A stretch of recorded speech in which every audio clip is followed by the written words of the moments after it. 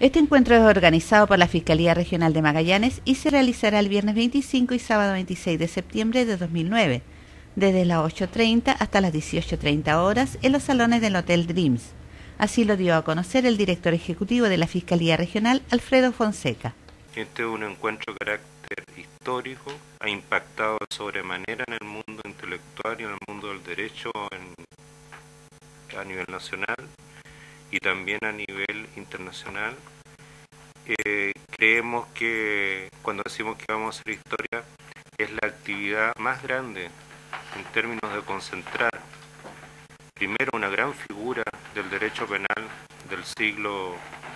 XX y lo que corre este siglo, que es este gran profesor de derecho, doctor, doctor, doblemente doctor y doctor honoris causa en más de 16 universidades en diferentes partes del mundo, llegue a Punta Arenas y con una humildad salvaje nos diga a nosotros, si ustedes me necesitan en Punta Arenas, yo quiero conocer esa tierra y voy a estar allá si mi palabra eh, quiere ser escuchada por los colegas que viven en Punta Arenas. En el encuentro se abordarán temas como el comportamiento alternativo ajustado a deber e imputación, el sistema alemán de las contravenciones, dolo e imprudencia, la personalidad penal de las personas jurídicas, entre otros.